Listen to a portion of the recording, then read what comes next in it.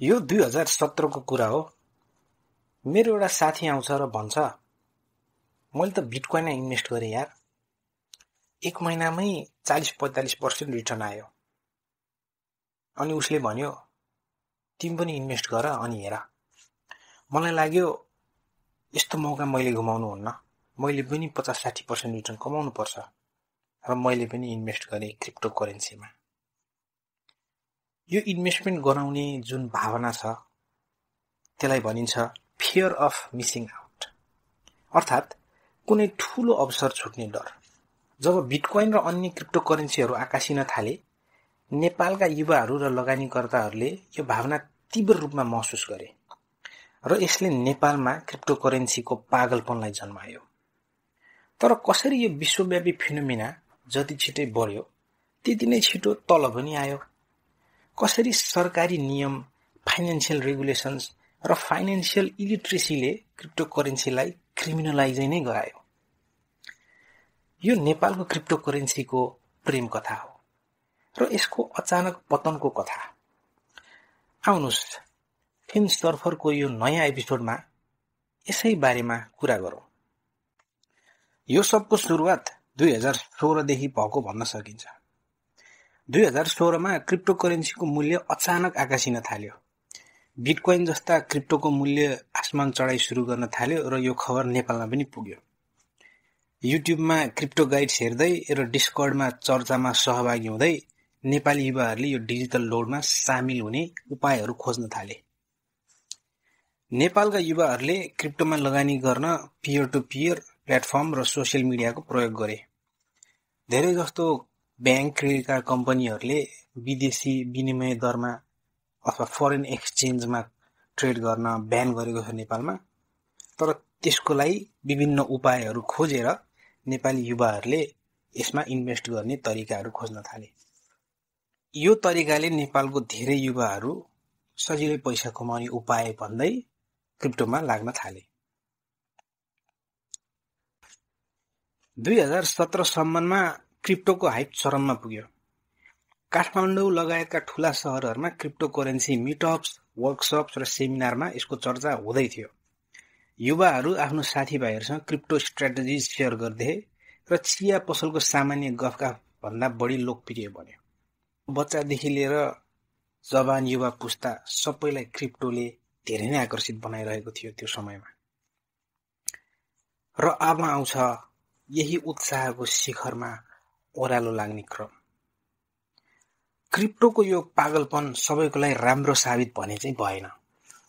धेरै युवाहरू scams Ponzi schemes र इलिगल एक्टिभिटिजमा फसे जसले गर्दा उनीहरूको बचत गुम्यो। यो अन्धकारको पक्षले थुप्रै नेपाली युवाहरूलाई निराश बनायो। र यो सबको रेखदेख गर्ने हाम्रो संस्था नेपाल राष्ट्र बैङ्क यसमा धेरै नै नजिकबाट नजर राखिरहेको थियो। एउटा इलिगल तरिका जसले नेपालीहरूले क्रिप्टोमा इन्भेस्ट गरिरहेका थिए त्यो थियो विदेशमा भएको आफ्नो साथीभाइहरूलाई नेपालमा पैसा सटही गर्ने अनि विदेशमा त्यो पैसा बराबरको इन्भेस्टमेन्ट क्रिप्टोमा गराउने। यसले इन्डाइरेक्टली के भइरहेको थियो भन्दाखेरि नेपालको क्यापिटल फ्लाइट भइरहेको थियो। डाइरेक्टली तपाईँले ब्याङ्क क्रेडिट कार्डबाट एउटा लिमिटसम्म मात्र किनबेच गर्न पाउनुहुन्छ विदेशमा? तर यो तरिकाले चाहिँ मान्छेहरूले धेरै नै इन्भेस्टमेन्टहरू गर्न थाले। मिलियन्स अफ रुपिजको इन्भेस्टमेन्ट भयो क्रिप्टोमा र यो सबको रेखदेख गर्ने संस्था नेपाल राष्ट्र ब्याङ्क यो कुराबाट अवेर थियो। त्यही भएर नेपाल राष्ट्र ब्याङ्कले दुई हजार सत्रमा सबै क्रिप्टो क्रियाकलापहरूलाई इलिगल भनेर एउटा सूचना जारी गर्यो। र त्यो सूचनाले अब नेपालको क्रिप्टो मार्केटमा खलबली मच्यो।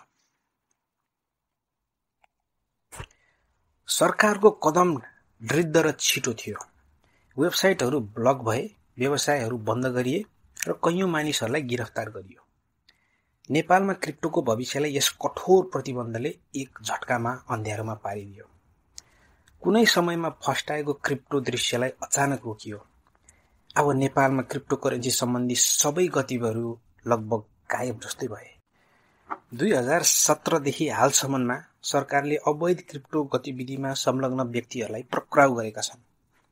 क्रिप्टो करेन्सीको अवैध कारोबार र माइनिङले धेरै युवाहरूलाई कानुनी समस्यामा फसायो।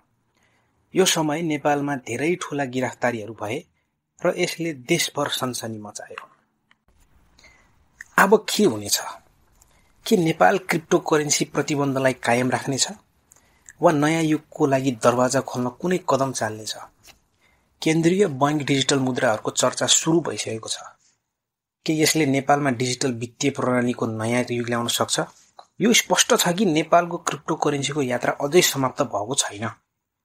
प्रविधिको विकास र व्यवसायीको परिवर्तनहरूका साथ नेपालको डिजिटल वित्तीय भविष्य कस्तो हुनेछ भन्ने प्रश्न अझै बाँकी छ। क्रिप्टो करेन्सीको बिहाइन्डमा भएको त्यो टेक्नोलोजी जसलाई चाहिँ ब्लक चेन भनिन्छ त्यसको युज गरेर धेरै राम्रा राम्रा कुरा पनि गर्न सकिन्छ।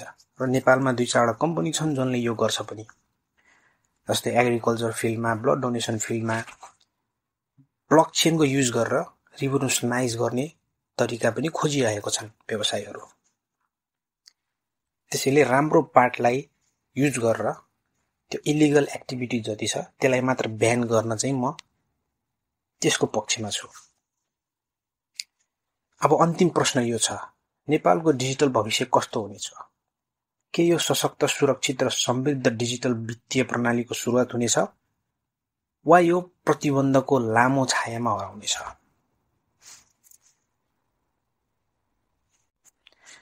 तपाईँहरूलाई के लाग्छ?